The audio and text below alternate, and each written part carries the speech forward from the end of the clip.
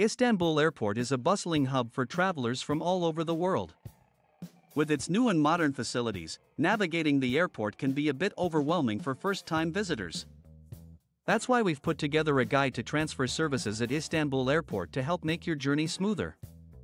One of the most important aspects of transferring at Istanbul Airport is knowing where to go.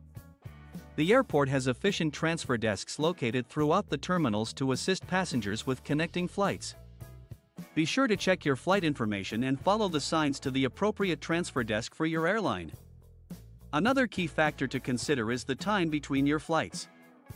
Istanbul Airport can be quite large, so it's important to allow yourself enough time to navigate through security checkpoints and make your way to your next gate.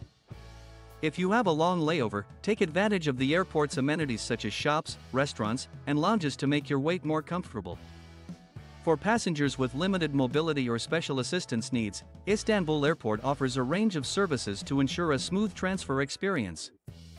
From designated areas for wheelchair assistance to priority boarding, the airport staff is dedicated to providing assistance to those in need. Overall, navigating Istanbul Airport can be a breeze with the right information and preparation.